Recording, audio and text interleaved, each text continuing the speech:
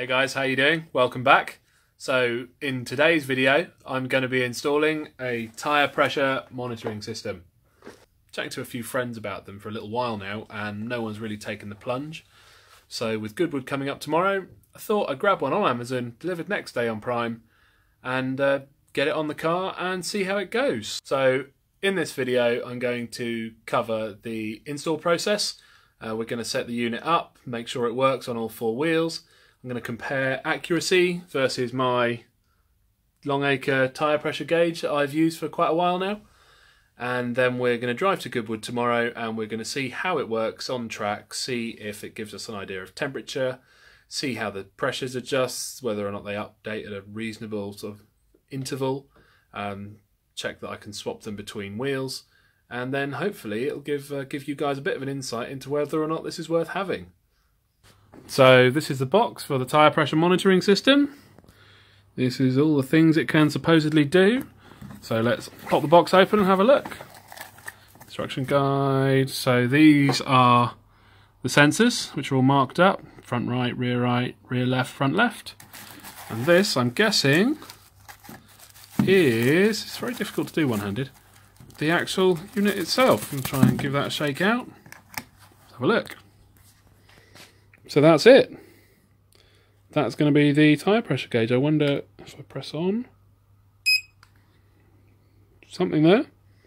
There you go. So this is going to give us um, both temperature and pressure, apparently, on all of the four uh, four sensors. So there's a little sticky pad location underneath, solar panel on top. So the idea is, and I haven't looked at this yet, the idea is it's going to sit up on the dashboard Something like that, maybe. Not sure yet. Maybe a bit further forward. Or, depending how it sits, I might even tuck it... If I tuck it in... If I tuck it in there, it's going to hold itself, but I don't know if the solar panel's going to work. So, I'll give it a go. I'll get it plugged in, get it working, and we'll see how it looks first. So these are the little sensors. I've actually weighed one of these and it weighs 8 grams. So hopefully not enough to actually affect the wheel balance at all. And something that is quite promising is that there's actually a metal thread inside there. So it hopefully shouldn't suffer too much from being taken on and off too many times. Now, in the box here, they actually give you a little tool to tighten it with. They actually give you lock nuts and a locking spanner. Now, I'm not going to use them simply because I change between wheels and tyres so much that I want to be able to take these on and off quite quickly. So what I will use is this little tool, which should help me tighten it up a bit quicker. So we're just going to go to front wheel here. I'm Going to pop off the existing dust cap and front right. Yeah, front right. So the idea is that you just spin it on like that. And I'm guessing that's it. Little tool here that you can use to tighten it up a bit more if you need to doesn't appear to do much. Not really sure what the idea of that tool is actually. Maybe that's for taking the top off, who knows. But that's dead tight on there now. It sticks out a little bit, so possibly not ideal, but we're going to get out on track and we're going to see how it works. Although, looking at that, on certain tracks, there could be a concern that you'd hit that quite a concern that you could hit that actually. So I think if I were going to keep this, you'd want to run shorter valve stem here to tuck that in within the rim. But we'll fire it up and we'll give it a go and we'll see how it works. Wow, so I've just screwed the four sensors on and I've just come to pick up the unit to check how we turn it on and calibrate and it looks like it's already done. So that is now showing me 26, 26, 26, 27, which doesn't sound too bad to me. Right, this won't be the easiest thing in the world to hold the camera and film, but we just checked the tyre pressures on there, showing 26, 26, 26, 27. So we're just going to come round to the front. How can I do this? If I hold it like that, it's not going to happen, is it? How do you do this with one hand, people? Here we go, this might work. What have we got there? Focus. Hopefully you can see that. That is showing bang on 26. and that is exactly what the uh, what the TPMS is showing. So really pleased with the accuracy. I have actually gone round checked some of the other tyres. They all read exactly the same, so really uh, really confident that the accuracy is pretty good. It certainly matches my Longacre gauge. This is pretty interesting. Currently only got two showing.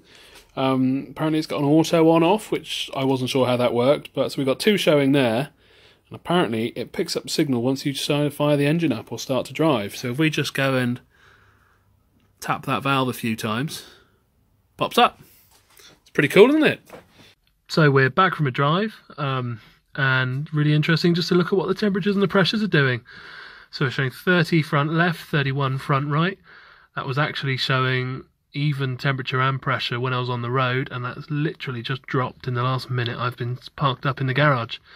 And then the rears, you can see, got them at 31 each, but they're around 10 degrees colder than the fronts. So we've just been for an enthusiastic uh, country drive, and that gives you a really good idea of what they're doing. So it works fantastically.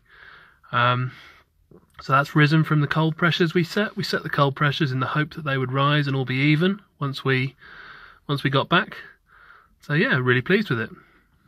Interesting. Uh, I don't know if you can see this, but every wheel where the TPMS has been fitted has this mark here. Now all I can assume is the centrifugal force of the whole valve stem moving out and that's actually quite a bit of deflection to do that and they've all got it. If I come up to the front, got the same here. That's quite a lot of deflection to do that. So I'm not really sure how I feel about that. So as you can see there, the sensors do sit out further from the rim than I'd like, especially with a long or standard length valve stem. Now I've done two track days on these since filming the rest of this vid, and I've not had any issues, but I'm not completely happy with how far they how far they stand out. So I would definitely recommend fitting some shorter valve stems on them. I've actually got this video here from Nige of Pinderwagon fame. Um, what you can see here, he's actually put sellotape on the rim. One thing to note there, the labels have worn off on his because he did a wet track day. So it's worth noting you might want to paint pen or mark them in another way. Nigel's actually got the short stubby valve stem fitted here. And as you can see it can only deflect about 1 or 2 mil at the most and it stands out from the rim an awful lot less than mine. So that's definitely the way to go with that. Right, well, it's a couple of days after Goodwood and we're back in the garage. And I'm pleased to report the tyre pressure monitoring system worked really well. So I set the pressures to 28 cold all round before I left on Tuesday morning. Uh, on the drive over, the pressures rose to 29 all round, and to be honest, the temperatures didn't really change a great deal maybe one or two degrees indicated change on the drive across. But it's a fairly slow drive, fairly cold conditions, so I'm not too surprised about that. Now, when we got to track, I set all the tyres to 24 cold all round before going out on track. Uh, after the first session, the front left went up to 33, the front right went up to 31, and the rears both rose to 28. So I was able to leave the rears exactly where they were. I dropped 3 psi out of the front left and I dropped 1 psi out of the front right to get them down to 30 hot. We then went out and did another session and I was able to see that the front right remained at 30 hot, so that was good. But on track, actually during some flat out driving, the front left jumped to 31 hot. Although when we came down in on a cool down lap, that front left dropped back down to 30. So previously I would have checked those pressures and gone 30 hot, still fine. But I knew now from what I'd seen out on track that what I really needed to do was to drop the front left another 1 psi. So when I came to head out onto the next session, they had dropped a bit because I'd been sat in the pits waiting. So the front left was at 28 and the front right was showing 29. So it's a bit 1 psi imbalance, not huge, but obviously you'd rather you'd rather they were the same. So I'm pleased to report when we then went back out on track, within half a lap, both the fronts were sat then at 30 hot. So I can definitely confirm that the tyre pressure monitoring system has already given me some information I didn't have before. What it also showed me, the temperature reading, it's only an estimate on temperature, bearing in mind it's not reading the carcass temperature, it's reading the temperature of the air within the tyre. But the front left reached 44 degrees and the front right reached about 37, 38 degrees. Now, it's a clockwise circuit, so the front left is the one that gets the biggest hammering, so that's exactly what you'd expect to find. So, although not to be taken as gospel, the temperature estimates are also quite handy, and it really lets you know what you're doing and helps you set the car up and get the best from the tyres. Now, I've not looked at this, but there we go. I've just opened the door to the car, and you can see the TPMS has fired itself up. So now we're back in the garage and the car's stone cold. It's been sat here a couple of days. You can see what I was talking about. So the rears are still at 25, 25. The fronts, the front left is at 23 and the front right is at 24. Now this is because when it got hot on the clockwise circuit, I had to let the front left down slightly more. So it's really interesting to see that difference there. What's also interesting is that the fronts are at 15 degrees C and the rears are at 14. Now you might think that's a very small difference, but I've got a radiator in the garage at the front of the car and the rear tyres are nearest the garage door where it's coldest. So it's definitely a pretty good system for the money. It's only 30 quid on Amazon. So this one I believe is the Favato HK08 and overall I'm really happy with it. There are obviously loads of different versions of this on Amazon, also on eBay, made by a load of different brands. They all look identical, all got slightly different names, all between 25 and 30 pounds. If you'd like to buy the exact one I've got, which I believe was the Favato unit, I'll pop a link in the description and hopefully there'll be a link somewhere in the video here for you to click. Should take you straight to the page to buy that very unit. So that was just a quick one for you today, guys. Just going over the tyre pressure monitoring system. Overall, I'm really happy with it. Well worth the 30 quid that it cost. Even if it doesn't last that long, it's given me some really useful data that I'm going to keep hold of going forward. Hopefully, it will last long. It's got a one year warranty, so obviously, I'll use that if I need to. But so far, I'm really impressed, really pleased, and I definitely recommend one. If you guys like the video today, please remember to like and subscribe. If there's anything else you'd like me to cover, any topics that you think have been out there, questions raised for a while, and no one's really delved into it and found out what's what and what's worth having and what's not, then I'd love to help out and try and test some new stuff. So, uh, yeah, I'll see you guys in the next one. Thanks very much.